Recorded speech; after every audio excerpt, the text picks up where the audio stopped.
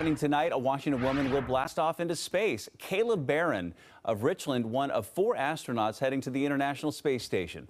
They'll spend the next six months up there doing some research. The launch delayed twice, first for bad weather conditions and then because of a medical issue with one of the astronauts.